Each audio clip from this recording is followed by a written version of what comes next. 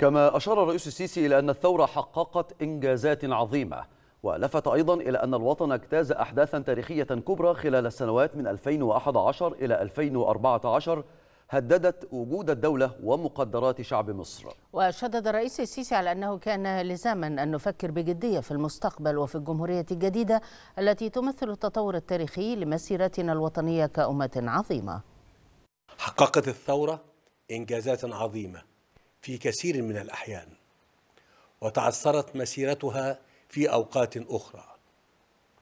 وبعد سبعين عاما على تأسيس الجمهورية ومع تغير طبيعة الزمن وتحدياته واجتياز الوطن لأحداث تاريخية كبرى خلال السنوات من 2011 إلى 2014 وفترة عصيبة من الفوضى وعدم الاستقرار. هددت وجود الدولة ذاته ومقدرات شعب مصر.